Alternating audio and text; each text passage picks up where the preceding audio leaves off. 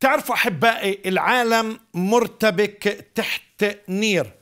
في تيموثاوس الأولى إصحاح ستة جميع الذين هم عبيد تحت نير فليحسبوا سادتهم مستحقين كل إكرام لئلا يفترى على اسم الله وتعليمه. والذين لهم سادة مؤمنون لا يستهينوا بهم لأنهم إخوة. بل ليخدموهم أكثر لأن الذين يتشاركون في الفائدة هم مؤمنون ومحبوبون. علم وعظ بهذا. فإذا في كتير ناس تحت نير في نير العبودية. تعرفوا تذكرت قصة في في العهد القديم آه سليمان آه الحكيم. مع أنه كان أحكم إنسان في الوجود ولكن يقول الكتاب أنه بسبب كثرة النساء أملنا قلبه وزاغ عن الحق.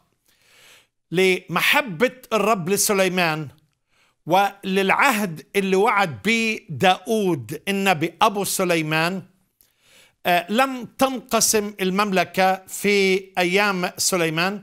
ولكن في أيام ابنه. وتذكرت؟ يعني شوف ال ال الكلام في ملوك الأول إصحاح 12 آه رحبعام حكم بعد سليمان. ولكن عمل يعني شيء غلطة غلطة عمره. فكلمه الأحداث يعني الشباب الذين نشأوا معه قائلين هكذا تقول لهذا الشعب الذين كلموك قائلين إن أباك يعني سليمان ثقل نيرنا أما أنت فخفف من نيرنا.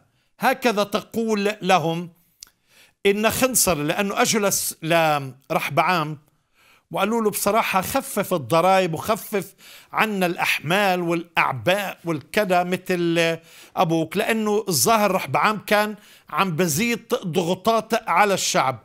فلم يسمع لمشورة الشيوخ راح لمين سمع لمشورة الشباب. وهي كانت نصيحة الشباب.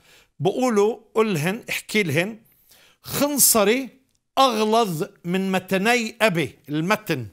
أوكي؟ والآن أبي حملكم نيرا ثقيلا وأنا أزيد على نيركم. يعني مش راح أخفف. أبي أدبكم بالسياط وأنا أؤدبكم بالعقارب. النتيجة باختصار المملكة انقسمت إلى قسمين. المملكة الشمالية ابتدأت بالعبد اللي كان عند سليمان كان موجود في مصر ورجع.